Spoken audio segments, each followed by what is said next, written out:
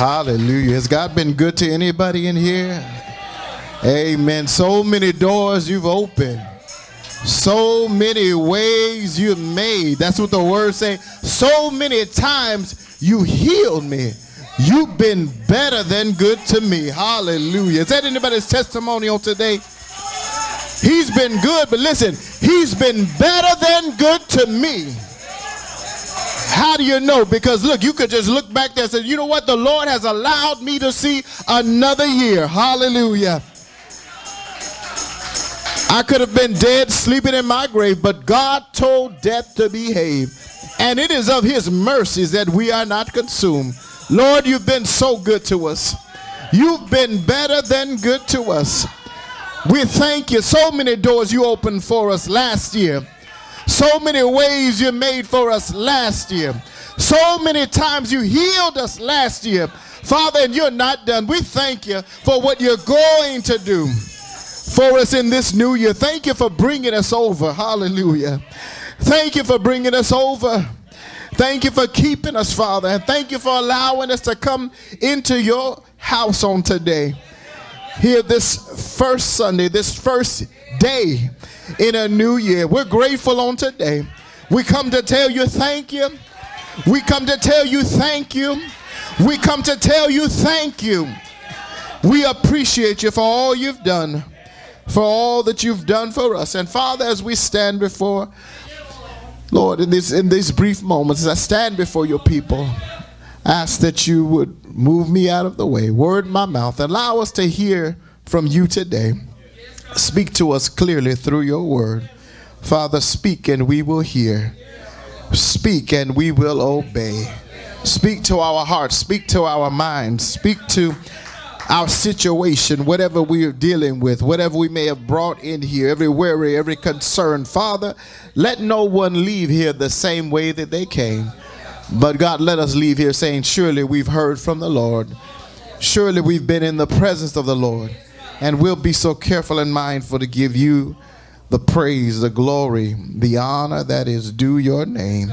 It's in the mighty and matchless and most precious name of Jesus Christ we pray.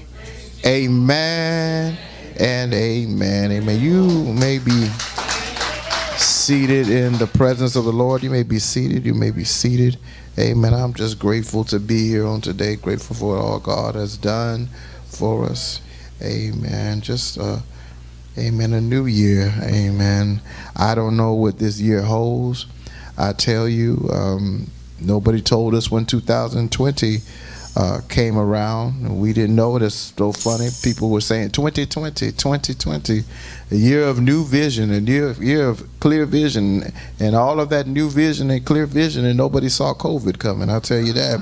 So, you know, I think sometimes we like to put 2008 is going to be great. 2009 is going to be fine. We don't know what a year is going to hold, but I do know who holds my future. Amen. And God is in control. As long as I've got God, Amen. Everything's going to be all right. Amen. If you have your Bibles, we have so many that are out today. Amen. Uh, thank the Lord. Amen. For all of them, the musicians, those that stood in. Amen. Give them a hand. Amen. But we have some that are out uh, not feeling well. Uh, that what you all were saying about Mother Hubbard, not feeling well in their body. Um, some are out of the city. Some are sick. And, and let me just say this. Uh, I did speak with some uh, individuals. Um, there's a lot of sickness going on around right now. Uh, uh, and it's not just COVID. There's RSV, flu, everything. And so, if you have a fever, if you have a cough, uh, just stay home, please. Amen. Sometimes we like to self-diagnose, and we oh, it's just my allergies. If you don't know what it is, you got a fever, cough, stay home and get it out of your system. Amen. Um, but we thank the Lord, and we're praying for those that are not feeling well on today. But you're here on today. Amen. Amen. And the Lord is here. If you would please turn with me to the book of Isaiah. Amen. The book of Isaiah, the 43rd chapter.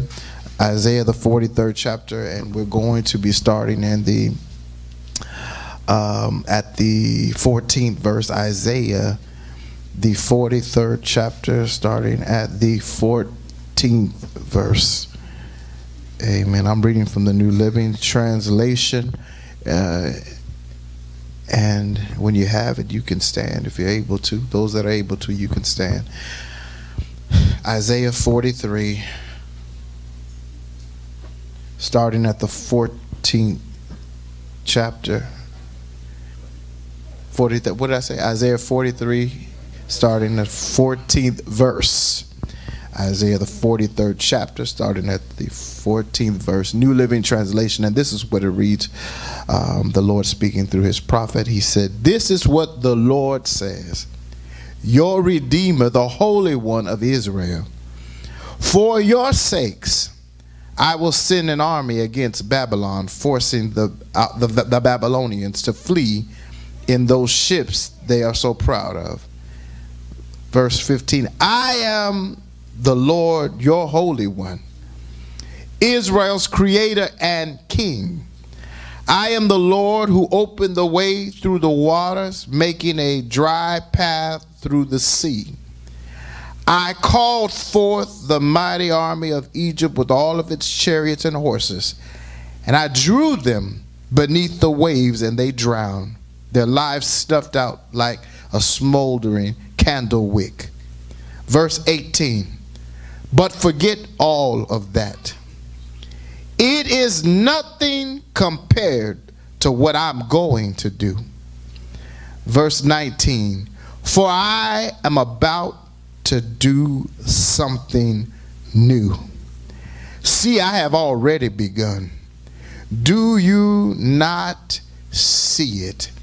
I will make a pathway through the wilderness. I will create rivers in the dry wasteland. I, I want to read one more time, just starting at verse 18. He said, The Lord said, But forget all of that it is nothing compared to what I'm going to do. For I am about to do something new. Amen. The King James Version said a new thing. Amen. May God add a blessing to the reading and to hearing of his word. You all may be seated in the presence of the Lord at this time. And in the passage, Isaiah the prophet is speaking the mind of God to his people, Israel, at a time when they needed encouragement the most because uh, of their own foolishness, uh, because of their own unfaithfulness. Amen. Because of their own sins. Anybody ever made a mistake and it caused you all kinds of trouble? Amen caused you all kinds of trouble. Nobody had to tell you that you messed up because of the predicament that you found yourself in. You knew full well, I caused this, I messed up, and oh, what a place I'm in. Because of their own fault, their own foolishness, their own unfaithfulness, their own sins, God allowed them to be driven out of their own land and to be taken captive by the Babylonians. And sometimes God, if He loves you, the Bible says those whom He loves, He chastises. Sometimes the correction of the Lord doesn't feel good. Sometimes it doesn't feel nice. Uh, it doesn't make you feel good. But sometimes God does stuff to get your attention. But he's just so merciful that even when calamity befalls you and it's your fault, he still steps in in his grace and his mercy. Amen. And will bring you out of it. And sometimes this is what I've learned. When you're down, you, you don't need a lecture because you've already lectured yourself. You don't need someone to make you feel bad because you feel bad enough as it is. You don't need to be kicked while you're down because you can't get any lower.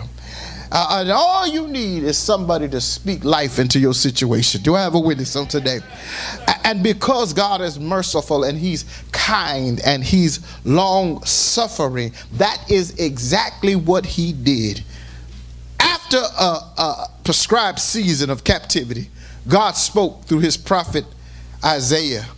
And He starts out by reminding them of who he is and what he's done. And he said, Look, I'm the one talking about what he did for their forefathers. I'm the one who, who opened the Red Sea and allowed them to walk through on, on dry land. I'm the one when they were being pursued by Pharaoh's army and they cried out for deliverance. I'm the one who opened the, oh, oh, the same uh, ocean that I opened allowed the water to overtake the army and drown them uh, in the Red Sea. I'm the one that brought them out with a strong and a, and a mighty hand. And he begins to just give his resume, if you will, Pastor Johnson, uh, of the things that he had already done for them, reminding them that I am the Lord your God, in case they forgot.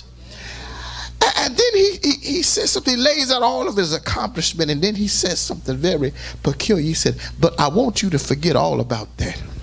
Hallelujah. Forget all of that. And what God would say, you say, forget it. What he was saying, he said, it's, it's not that I don't want you to remember what I did for you because there's a saying that says those that forget history are doomed to repeat it. He said, I, I, not that I don't want you to remember. He said, but I don't want you to get stuck there. I don't want you to get stuck there. I don't want you to stay there. I remember, and we have a habit sometimes they say if it ain't broke, don't fix it, Pastor Johnson. But God's not like that. I, I remember when we got to our very first church building and understand this was not just a building, this is the building, the church that I got saved in as a young man. The Lord opened the door, that church was moving on. And I remember that when we got to our first church building and we were so excited and we were so happy and we had, uh, you know, fixed the place up and I, I was just so excited. And I remember I thought, the Lord must be trying to do something because this is the place where I got saved and got my start in my Christian walk. And now here I am. Uh, as a matter of fact, God Himself led us to that building. I said, and now here I am getting ready to start a ministry in the same place that I started uh, my Christian walk. And I was so enamored with the building, and, and it was just the right size for us. Uh, it was a small building, uh, but it was just the right size for us. Uh, and the price was low. They only wanted $60,000 for the building, and we didn't have any money. And I thought, I said, you know, I see what the Lord is trying to do. He saved me here, and now we're starting our new ministry here. And I tried to buy the building. And the man said, I'm not budging from $60,000, and it fell through. We couldn't buy the building. And I was a little upset because we had nowhere to go. As a matter of fact, we went from that building to a hotel because there was nowhere else for us to go. And, and I was disturbed. I couldn't understand why God wouldn't just give the building to me because it was paid off. Uh, they didn't owe any money on it. As a matter of fact, the man that owned the building told me, listen, the way we got this building is somebody helped us out. And so in my mind, I said, if somebody helped you, well, brother, come on, pay it forward. Why don't you uh, help us? And we we didn't get the building, and I was I was a little perturbed by that. And then the Lord began uh, to deal with me and show me something that was just a starting place. Because here's the thing as much as I love that building, I would have wanted to start there. I had to learn that you cannot birth something new in an old womb. All right, all right. You cannot birth something new in an old womb.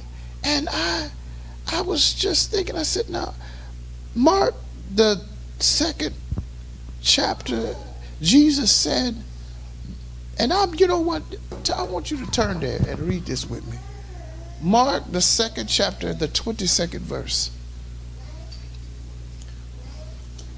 I, I was just so sure that that's where God had for me to be because He'd done something for me there. The greatest thing He ever did for me, He saved me. And I said, Well, Lord, for sure. But God said, I'm trying to do a new thing. And Mark, the second chapter, the 22nd verse, this is what Jesus said. Jesus said, No one puts new wine in old wineskins. For the wine would burst the wineskins, and the wine and the skins would be lost. New wine calls for new wine skins. They would take skin, like leather, and they would condition them and, and make them as a holding place for wine. Um, and they used them and they reused them, but the problem was that when the wine skins became old, they lost their elasticity. And so, if you try to put new wine into an old wineskin as it began to uh, grow, it began to ferment, it would burst because of the movement. It have the capacity to hold what you were putting in it. It would burst and you would lose the wine and destroy the wineskin. So, what Jesus was saying is that you cannot put something new, Pastor Johnson, in something old. Hallelujah. Glory. You can't put a new move of God in an old mentality. Do I have a witness here today? Sometimes we say, Well, I'm looking for God to do something new. And God said, I need somewhere to do it. Hallelujah. When he got ready to send his son Jesus into the earth, he found a new womb to put it in. As a matter of fact, one that had never carried a child before because he was trying to move in the earth. And I learned that even as we began uh, the church and we started, and y'all have to understand where I came from. Many of y'all don't know. I, the, I came from a mainline traditional denomination, and I thank God for my foundation. But I didn't fully understand what God was trying to do for this church. I didn't fully understand what God was trying to do with me. And so I did the best that I knew how. And when we began the church, I tried, listen to what I'm saying, I tried to replicate everything from where we came from, Pastor Johnson. I got all of the old literature, I took all of the books. Y'all remember Power for Living? I, am telling you, I, I, I tried to replicate the same order of service because that was all that I knew. And I remember that no matter how I tried, something was just not clicking. And I remember one Sunday, uh, we didn't have deacons, and so I would just look out in the audience and I would say, Brother, this man here, come up and dismiss us. And I said to one of the men, and this is when it began to click that God was trying to do a new work. I looked and I said, Brother, uh, that time as Rocha, I said, Brother Rocha, come up and give us our benediction. And he stood there and he looked at me so crazy. I said, Brother, come give us the benediction. And he just stood there. And one of the members had to pull me to the side and it was Sister Lisa. Y'all know her back then. She don't even remember. She said, Pastor, she said, these folks don't know what a benediction is. I said, I said, he said, I don't know either. That's the dismissing prayer. That's the dismissing prayer. He said, she said, Pastor, these people don't know what a benediction is. They didn't know what a benediction was. They didn't know what the responsive reading was. They didn't know a statement of faith. I believe concerning the Bible, we believe the Bible to be inspired and only infallible written word of God. Now, those of y'all from the Church of God in Christ know that statement. But they didn't know, Pastor Johnson, they didn't know the statement of faith. They didn't know the old songs of the church. And that's why somebody said, Why y'all be putting the words up there? That's why we put words because the Lord was sending people that didn't know take the Lord along with you everywhere you go. Uh, they some of them didn't even know amazing grace, how sweet the sound, because they were unchurched. And God was trying to do something new. I remember one Sunday we had a, a speaker got up and they got through speaking and they uh, they went into the yes Lord praise. Yes, yes, and I remember the church was got up and people were singing. And when I got to work, y'all remember Brother Fabian? He said, What was that song that everybody was singing at the end of the message? And I said, Oh, I said, That's the Yes Lord praise. I said, That's Bishop Charles Harrison Mason. The Lord gave him that in prayer. And I said, They sing it all over the world in the Church of God in Christ. And he said, Oh, okay. He didn't have a clue And the Lord was trying to show me that I'm sending people.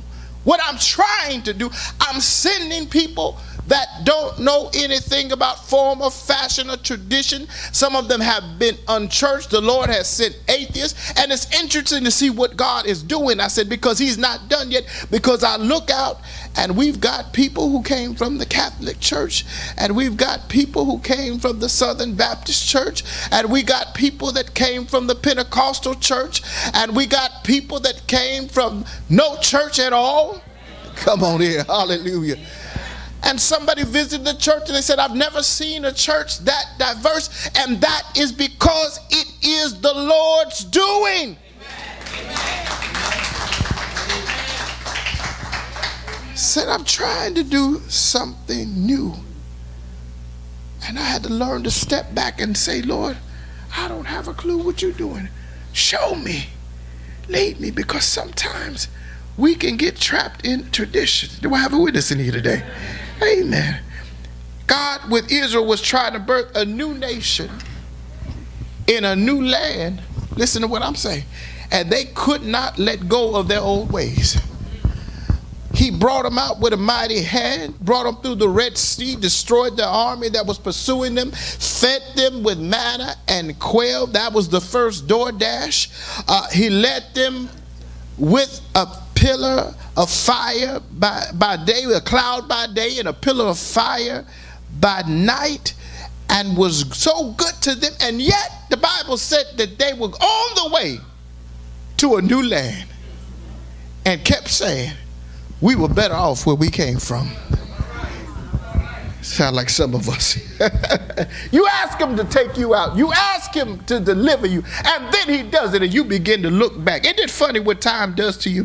How you forget you could be in a bad situation. You get out of it long enough and you actually start to think fondly of where you came from. Huh? You actually start to reminisce in such a good way. You get out of a, a bad relationship and everybody's so happy for you. And the longer that you stay away from that person, you start looking at the phone and then you go and find their name in your contacts. Come on here with your crazy stuff and you start looking at old text messages and you know and emojis and oh my god. And you start thinking fondly and you go look at an old photo album and and and, and look at at all the old pictures of you standing together and the time we had christmas and your first valentine's day gift and your first valentine's day card. And just by beginning to reminisce you begin to forget the reason why. Hallelujah why you had to leave them, why, why you broke up with them, why you divorced them. Till you get back and say, What was I thinking? Hallelujah. And God brought Israel out with a mighty hand. Hallelujah. He put a new song and they, they left singing a new song. Glory to his name.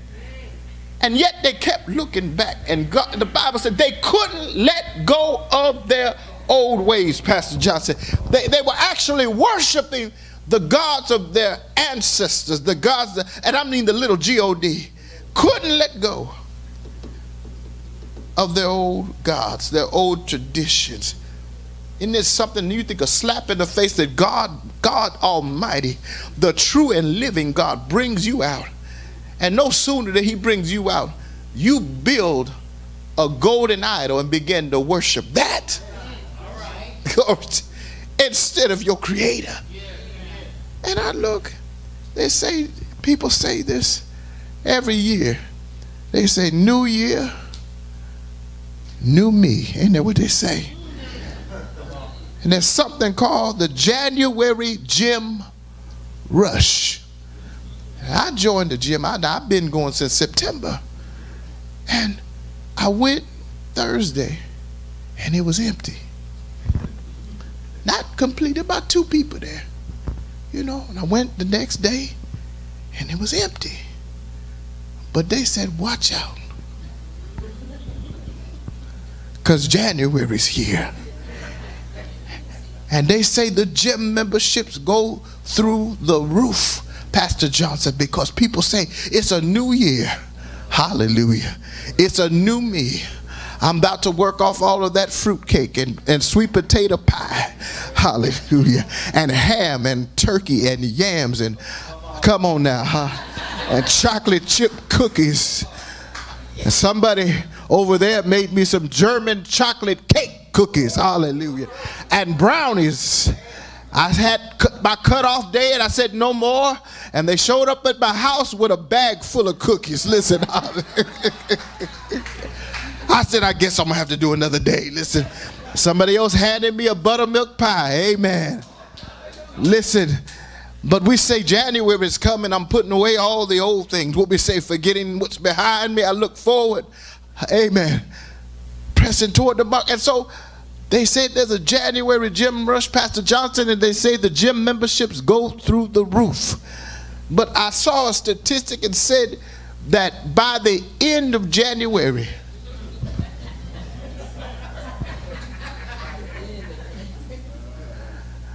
less than 30 days, by the end of January, 50% of those memberships have been canceled. Glory. Because the truth is, it is a new year. Hallelujah. But that's the only thing that's new. Because we bring over old habits, old sins, old debts, old expectations into a new year. Do I have a witness in here today? And I've learned that you can be so fixated on the past that you can't appreciate the present and you won't look to the future. And God said to Israel, forget all of that. Forget where you were. Forget what you saw, the 10 plagues and all that. I want you to forget all of that. And I can understand why God would want us to forget old habits and sins. But why would he want me to forget the good things that he's done? He said, and it's not, and listen to me carefully. He said, it's not that I want you to forget the good that I've done and the miracles that I performed and the ways that I made. He said, It's not that I want you to forget, but I do not want you to limit me to just that. Hallelujah. Don't you limit me. Don't put me in a box because I'm God. Hallelujah. First of all, there's no box that's big enough to hold him said, I don't want you to put limitations on me based on what you heard about me. I, I, don't want you to put limitations on me even based on what you've seen me do because you have no idea what I'm capable of. Glory. Don't limit God. I'm talking about, listen, yes, he did some great things in 2022, but that year is gone. And this is a new year, and I'm telling you, God is getting ready to do some new things. Glory to his name.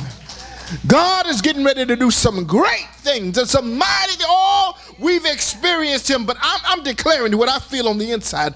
Oh, we're about to see some things that we've never seen before if we trust him, if we believe him.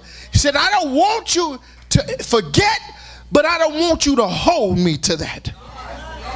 Because there's something more. This is what I've learned about God. Hallelujah. It's what I've learned about God. Sometimes I saw a story, evangelist R.W. Schambach. He said, I preached a crusade under a tent. The choir sang worship went forth. I preached the message, and R.W. Schambach said, and I saw one of the greatest miracles that I'd ever seen in my life as an evangelist. Saw God heal somebody in a way that I'd never seen before. Whole tent, that's when they did tent revival. The whole tent went up in praise. Never seen God do something like that before. And R.W. Schambach, and this is what we do sometimes. He said, I, I, he said that was something else. And so he said, the next night, I changed the program. He said, and I told the choir, sing those same songs again. Hallelujah. said, keep the same order of worship. And they did it. And he said, and I even preached the exact same message the same way. And he said, but God didn't move that night. Hallelujah because he thought it was a ritual. And he thought it was a formula. And he thought it was the way that he preached. But it was God. And God doesn't move the same way every time. Hallelujah.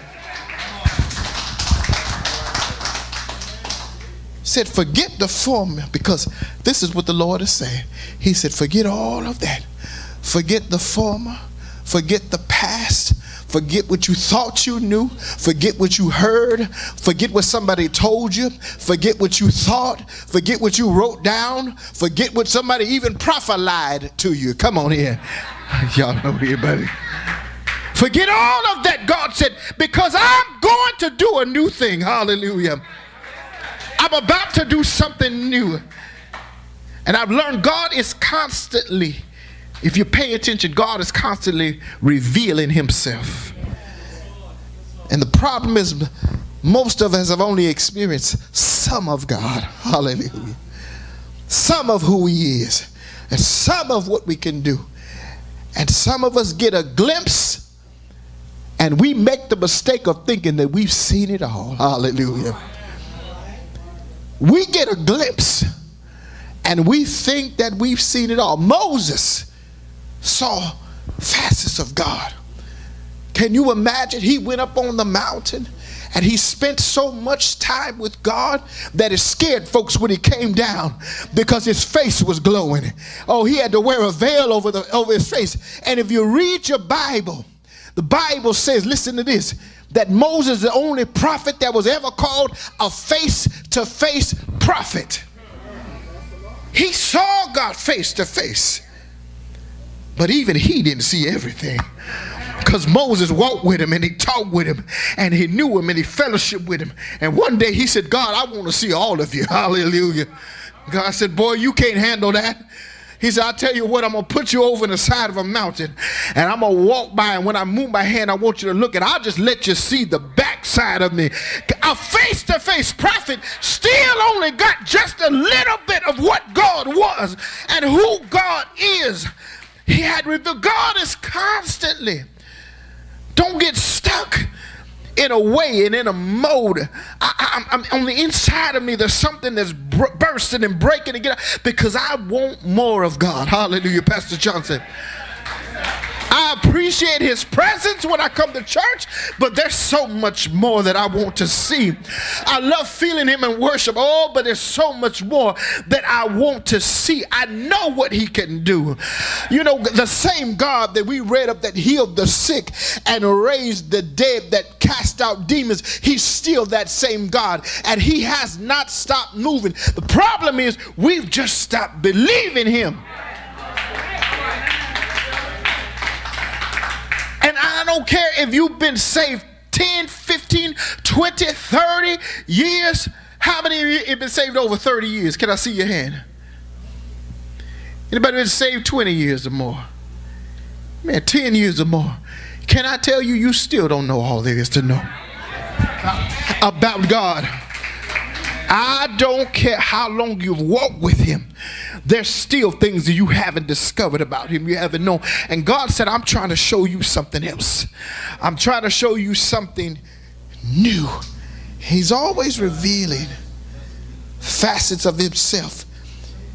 And you watch the trailer and you think you've seen the whole movie, Pastor Johnson, hallelujah. But not so with God. And here's the thing you don't even like if you think about yourself, you don't even like to be held, amen, and put in a box defined by one experience. And some people will say, I know Dolores Evans. I know her. I went to high school with her. She was like this. And she was so quiet. Say, oh, I know him. I used to work with him. I know him. I know her. We grew up together. Well, here's the thing People love to say that. Pastor Johnson, listen, you might have worked with me. Uh, you might have grown up with me. You might have attended school with me. Listen, you may have met me, but I can guarantee you, you still don't know everything that there is to know about me. And God was saying to Israel and to us, You have experienced me as a defender, you have experienced me as a guide, you have experienced me as a waymaker, you have experienced me as a protector, you have experienced me as a provider. Come on here. You have experienced me in so many ways. Oh, but you ain't seen nothing yet. Hallelujah. Ooh. Because God said to Israel, listen, when I return you to the land of promise, then you're going to learn that not only am I able to make a promise, oh, but I'm big enough and I'm bad enough to keep it and fulfill it. And I will perform everything that I said that I'm going to do. Ephesians 3 and 20 says, Now unto him who is able to do exceeding abundantly above all that you could even ask or think. Hallelujah. That means, Pastor Johnson, if I can think about it, if I could ask it, God will exceed it. Hallelujah. If I could even think about it, there's some things that I thought about that I wanted God to do for me. Hallelujah. I got a car out there. I said, listen, Lord, if you just give me something that drives with air, I'm fine with it.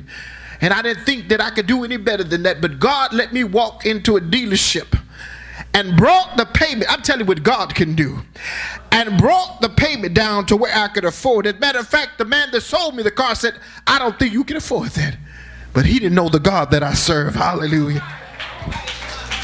I can do exceeding abundantly above all that you could even ask or think, according to the power that works in us. And he said, So the new year, God said, forget all of that. Forget what you thought. And do you not know that sometimes God meets you on your level of expectation? Some of us don't believe that God can do more than heal a headache. Oh, it got quiet in here. Some of us don't believe that he can heal a headache. So if that's all you believe he can do, hey. But he said, forget all of that. God said, because I'm about to do something new. Hallelujah. He said, and now this is the thing, I'm almost done. God said, not only do I want you to let go of the idea, and hear me today, I'm almost done. Not only do I want you to let go of the idea of what you think I can do, but I want you to let go of what I didn't do.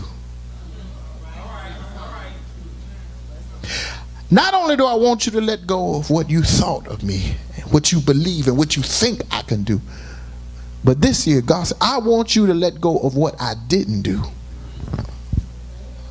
What you saying? See, because some of us have a list of things that we believed God for. And because he didn't answer the way we wanted, or he didn't answer at all, hallelujah, we are holding on to that. And I know I'm talking to somebody here today because I've been there. Because he didn't answer the way you thought he should have, or he didn't answer at all, you are holding on to that as a reason, or can I just be honest, as an excuse to doubt. And some of you in here today have even stopped praying. Okay, now see, I might have hit somebody. You have held on to that because he didn't do it. Say, let go of that because he didn't do it. You have given in to that as a reason to doubt. And some of you have even stopped praying all together. I have.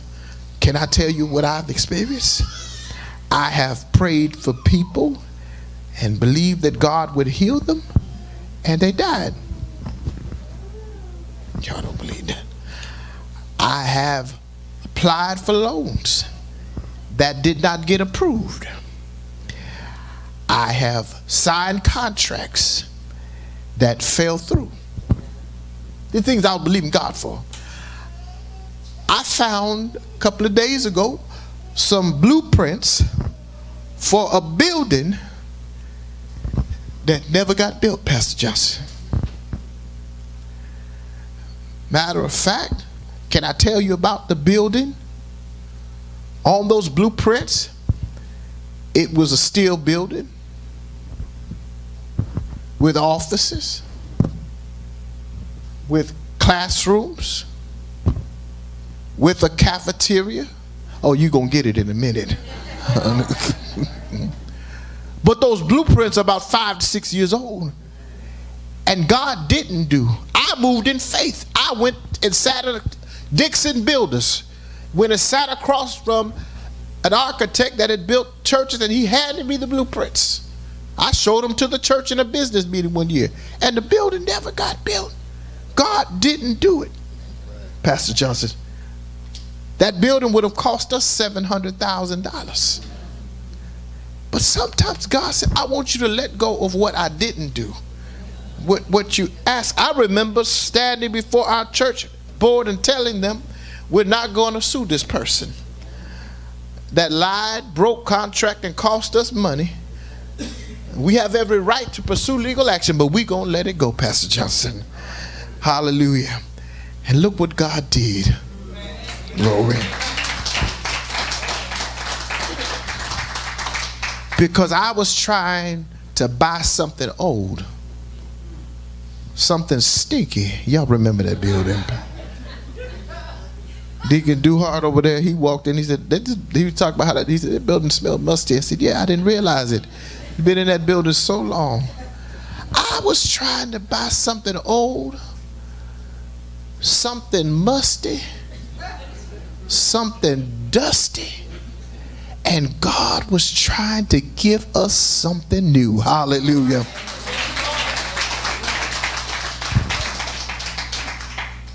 Sometimes, in order to get something new from the Lord, you got to let go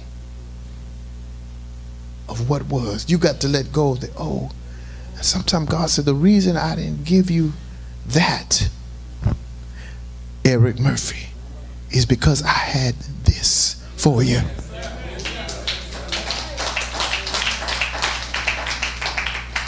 Aren't you glad? Amen. So the Lord said, for this year, let go of everything that was. It, you can't do anything about it. It's past. God said, but I want to do something else. Amen. God said, I want to do something new in you. Hallelujah. I don't know about you. Amen. But I say this every year, and God has done it. But I don't want to leave this year the same way that I came into it. Amen. He said, I'm going to do something. He said, I will make a pathway in the wilderness, and I will create rivers in the dry wasteland. A road in the wilderness and rivers in the desert. In other words, God said, I'm going to do what you think is impossible. Amen. I want you to do this for me. Say, Lord, I'm going to let go. Say, Lord, I'm going to let go, uh, of what was. And I want you to do something new. Say it again, Lord, I let go of what was.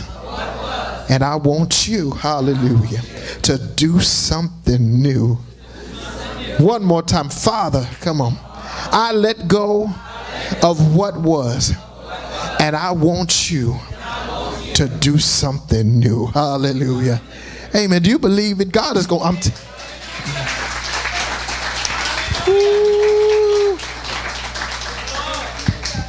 Glory. And I'm not always see. Sometimes we get so. I want a new house. I want. Listen. You know what's new? When you've been coming to church by yourself, and one Sunday your children come into church.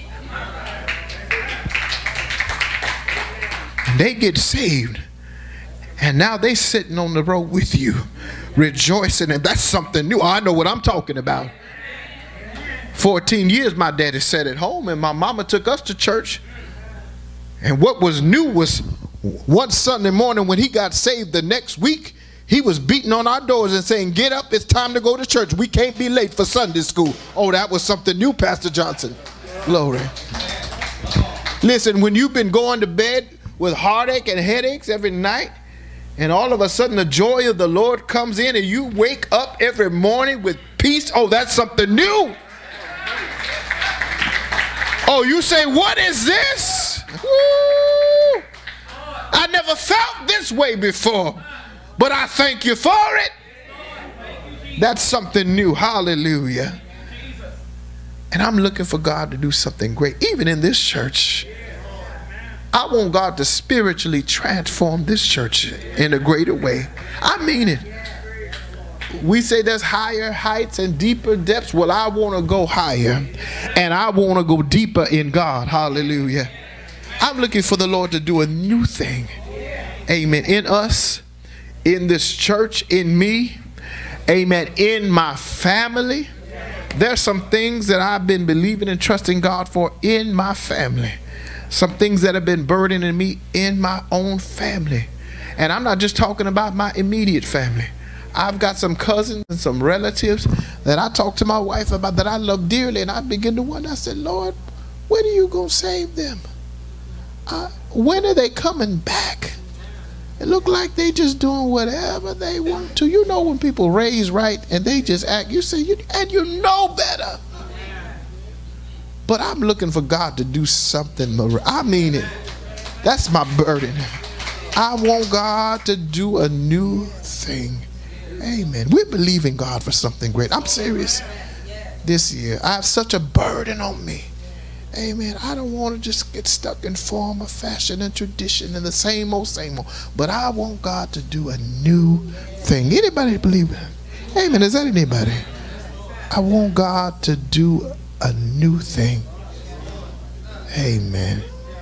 And he said in his word, and I've already begun it. Oh, yes, he has. I've already begun it. Can't you see it? Hallelujah. Can't you feel it? Can't you sense it? I'm already moving. I'm already working. Amen. God is going to do a new thing. Amen. We're getting ready to go home, but I wanted to do this every year, just about every year. God had laid it on my heart, and we hadn't done it since we had started the church one year, and then God just impressed upon me. And it was so funny because the Lord impressed it upon me, and then I didn't say anything to anybody, and somebody called me and said, Pastor, we, we need to do a corporate fast as a church. And I said, Well, you won't believe what the Lord just said. Amen. But I want God to do something in this church, and I mean it. Sometimes the Bible says these kind come up not by prayer and by fasting. Amen. And we have no idea what this year holds the good, the bad, and the ugly. God does. But this is what I want to do. Sometimes we start out and we say, well, we want this to be of breakthrough. And that's what this is a, we're fasting for breakthrough. All I want is for the will of God to be done in us. There's some things that God has been trying to do in us. Do you know there's some things that God has been trying to say to us and we can't hear him? Sometimes the Lord is knocking and you not answering. And he been knocking all 2022 and some of y'all still got the door locked. The door to your heart locked up. God has been trying to do some things in us. But this year, this is all I want. I want what God has been trying to do in me I want what God has been trying to do in this church. I want what God has been trying to do in my family. And maybe I was the one standing in the way of it. My own stubbornness. Or maybe I held God to such a standard that I thought this is the way you're going to do it. And God said, that's not what I've been trying to do. But you couldn't hear me. If you would hear me and heed and obey my instructions, I could have done it. But I want to move me out of the way. Anybody here with them? I want to move my flesh out of the way. I want to move my emotions out of the way. I want to move my mind because sometimes we spent last year overthinking some stuff. Do I have a witness in here today? And so this is what we're going to do.